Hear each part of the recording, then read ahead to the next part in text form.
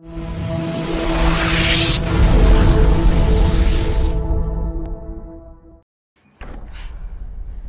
always told you that my family wasn't in the war.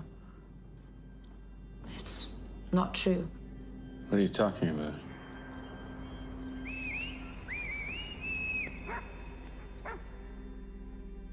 We were sleeping when some German soldiers found us. They did horrible things to, to the women. Worse than you can imagine. You just moved here from Virginia. What's the likelihood that a guy that attacked you halfway around the world 15 years ago, he ends up two blocks away? Lewis, he's in the trunk of our car. Why are you doing this? You don't remember me?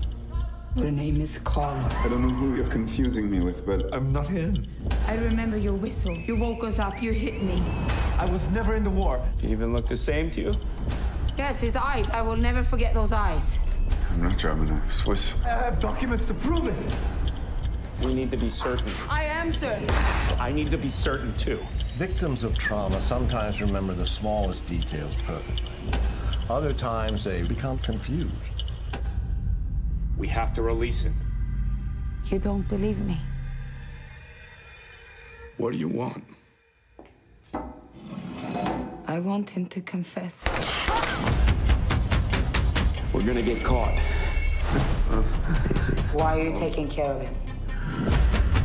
His wife must know something. I'm not the man you think I am. No more